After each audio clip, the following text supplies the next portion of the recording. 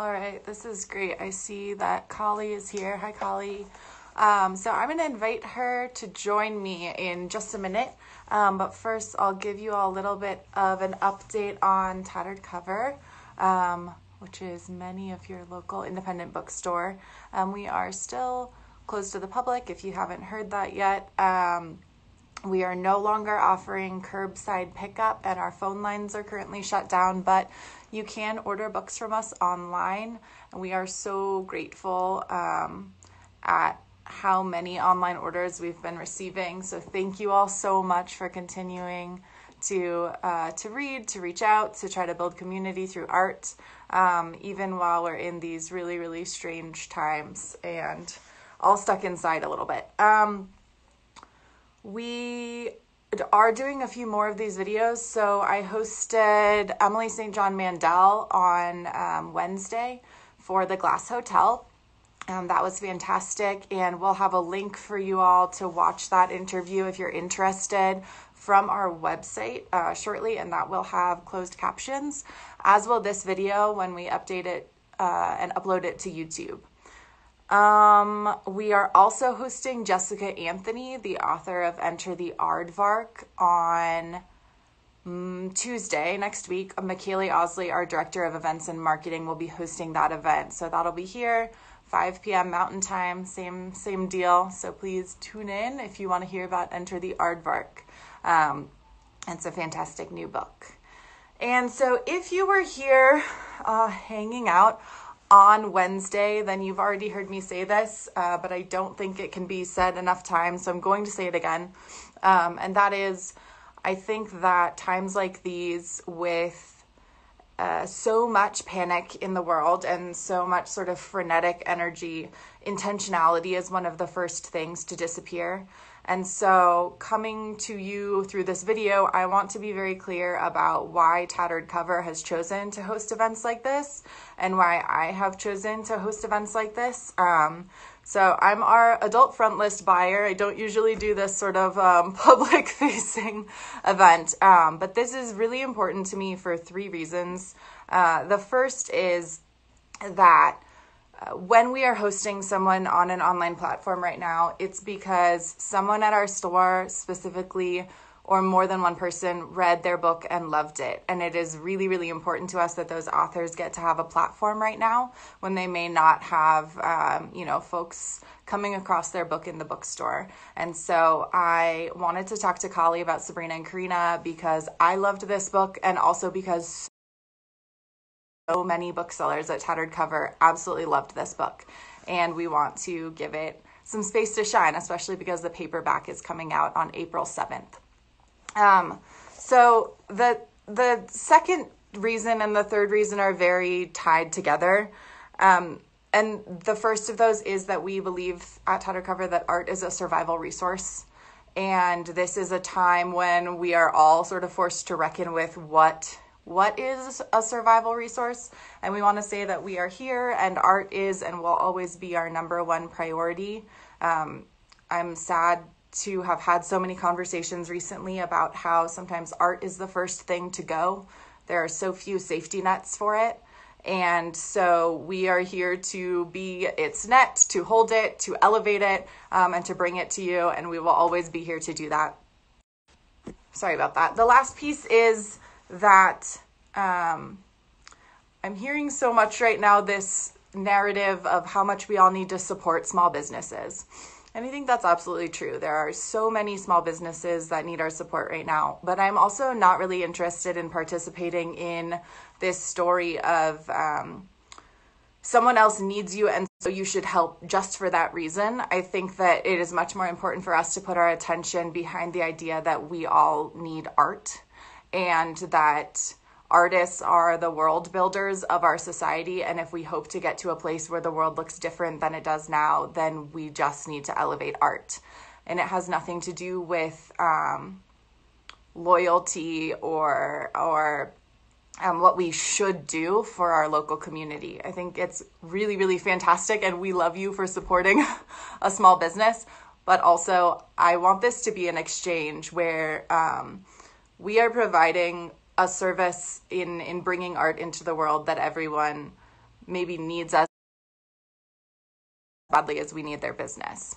And so, with that, um, I am going to bring Kali Fajardo Anstine here um, in just a moment, and I will tell you a little about her. She is the author of Sabrina and Corina, which many of you may have read at this point. It's been out in hardcover for about a year. Um, it was a National Book Award finalist and also a PEN Bingham Prize finalist and a Story Prize finalist. Um, it was longlisted for the Aspen Words Literary Prize. And Kali is also the 2019 recipient of the Denver Mayor's Award for Global Impact in the Arts. Um, she has had work in Gay Magazine, The American Scholar, Boston Review, Bellevue Literary Review, and on and on and on. She's received fellowships from Yaddo and the MacDowell Colony in Hedgebrook. Um, and she is from Denver. So I am going to bring her on here right now. We'll see if I can operate the phone. There we go.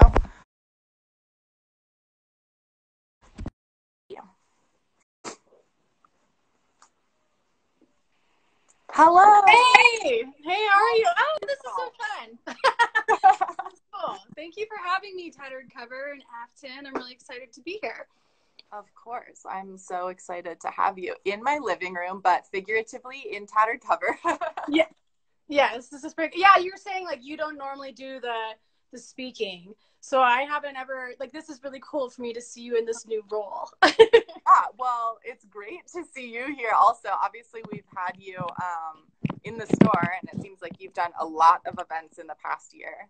Um, yeah, but... I've been doing a ton of events, but um, yeah, my tattered cover event was like one of the highlights of my year. Just like in my life, you know, someone from Denver. I was like, ah, oh! and now I get to do a digital event with you guys, so I'm I'm really honored. Well, thank you.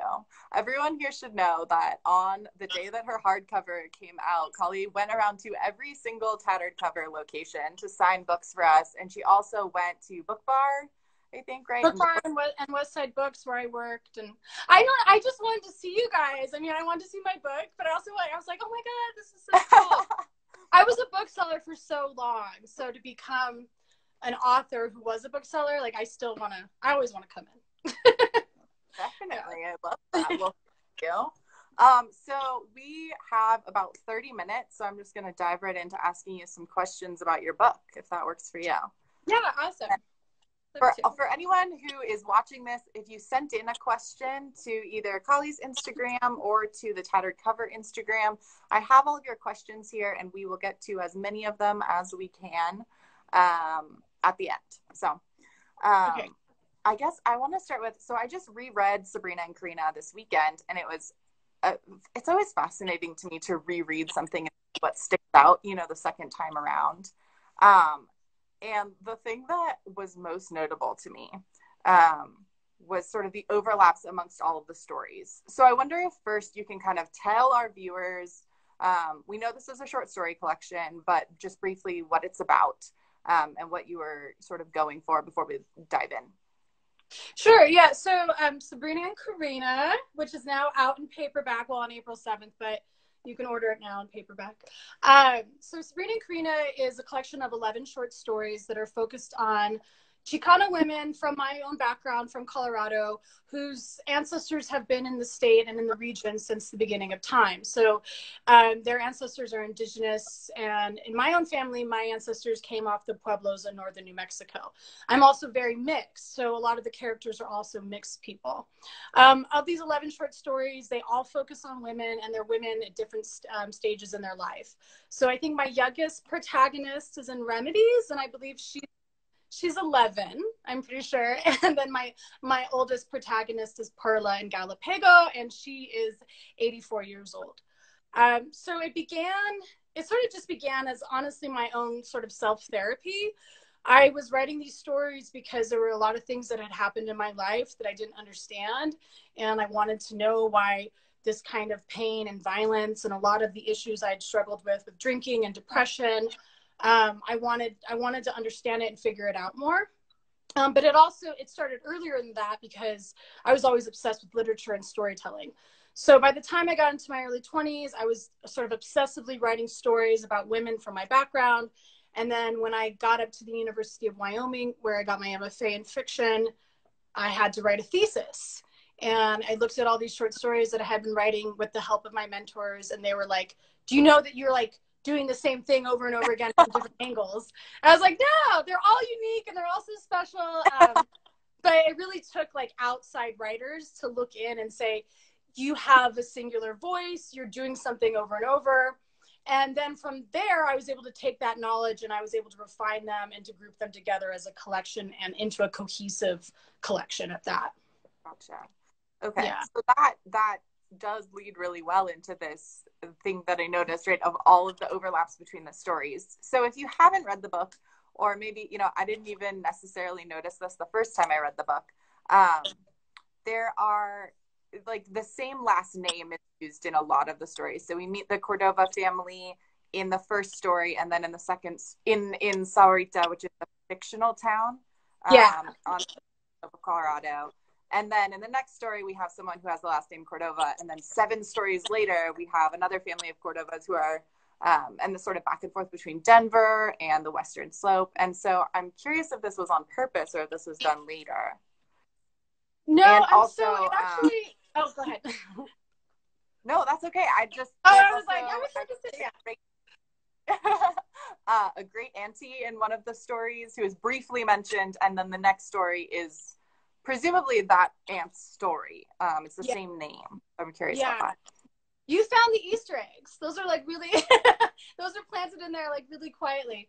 Uh, but thank you. I, am honored to have readers read so closely like that um, because everything, every sentence I write is intentional. Every word is intentional. So anytime that you see overlap, like I did it on purpose. um, one of the things that I'm really obsessed with is sort of the, you know, the Manito New Mexican diaspora. And these are all the families that had left northern New Mexico, southern Colorado, like my family did in the 1930s, and they came mm-hmm. up to Denver. And there are a lot of families that are like that. And it's sort of that history wasn't always retained. But one of the mm-hmm. things that was retained were our last names. So I know Fajardo is one of my last names, and so is Anstine, but I also know the, the Lopez side of my family and the Luceros and the Gallegos and all those, you know, all those different names, they mean something. And they're names that are very common from an area. So the Cordova family is a research name. It's a, it's a very common name from that area. And so when I was picking the names, I was like, oh, okay, I'm going to make them part of this cluster. And um, even the first names are they are all researched and pulled off census records and things like that. But I did refine it later during edits. So at okay. first I was like, I'm just gonna write these and be like wild and just see what what grows. And then later on, I when I was putting this together as an actual book and not just like one story I was sending out at a time, I was like, okay, I want this to feel like a real community and a real community has cousins and uncles and sisters of sisters and friends of friends that were married and left out of the family somehow. Mm-hmm. But all of those, I mean, all of that overlap is a natural. So it, it's, I wanted it to feel like realism. So I'm glad that like there's overlap in the family like that in that way. Like if you go with me somewhere in Denver that's in a certain part of town, you might run into my cousins just like walking down the street. That's just, it might just happen like that. That's great um, then then of course I'm also curious about the details that are carried over and why specific things. Um, you have these plastic marigolds that show up in a number of stories. You have um, a mother, a grandmother cooking menudo in a number of stories. Um, I'm trying to think what else. Chanel number five shows up in a couple of stories. Good perfume. So why these things? um, I think just again realism. Like my family didn't make menudo once. Like they made it over and over again, uh, either for a hangover or for a funeral. You know what I mean? Like so, just like the realism of like those things that are normal to me and my community, they should be normal to the reader of this book. Um, marigolds, they represent death in a lot of ways and honoring death and Dia de los Muertos. So all of those symbols that are in there, they should be doing multiple jobs. So they should be, you know, filling in as flowers, but the flowers should also remind you of death and that would tie you into a culture. So I always think about using my details, just getting a lot of mileage out of them. Um, again, like when I was doing edits, there were some things that came up over and over again that weren't necessary. Um, after a while people got it that my characters usually have long black hair so i didn't need to describe that every single time um, but again like when i was sending them out piece by piece mm-hmm. sometimes mm-hmm. those, de- those details didn't feel like they were accumulating in such a way until you read the whole book as a collection right i mean it's like beyond my wildest dreams that you guys read it all at once like i was just struggling for like so long to just get one person to read one story. So the fact that i have readers now that have read the whole book i can see all those different similarities. I'm like oh i love it! It's such a good feeling. Well i can tell you a lot of people have read your book. I say yeah person who sees the sales numbers every week. Oh, really? Thank you. I, I'm like, I told my agent, like, never tell me. I don't want to know. no, you're, yeah, well, it seems like a lot of people in, in Colorado and shopping at Tattered Cover have read your book, and I'm excited. Yes, I'm very appreciative of you guys. um, okay, so details. You are clearly I feel like very well known for your details at this point. Um, and I'm really interested in the details about Denver. Um, you know, this is such an incredible book to read as a person who's from Denver. Um, you know, because how often do we see Cheesman Park or Colfax or Wadsworth? You know, these places in the books we read, we yeah. just don't. They're you know, don't. Yeah. Um, and so I'm I'm in reading it. I was very curious about if you considered who your audience was when you were writing it. Um, mostly because you know you say things like Colfax Avenue rather than Colfax um, which is clearly to make clear to someone that this is a street, right?